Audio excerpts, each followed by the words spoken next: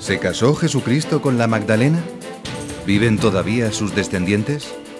¿Es la Iglesia una organización nacida para ocultar la verdad sobre Jesús? ¿Fue el emperador Constantino el que le promovió de hombre mortal a Dios? ¿Qué es el priorato de Sion? ¿Y el culto a la diosa?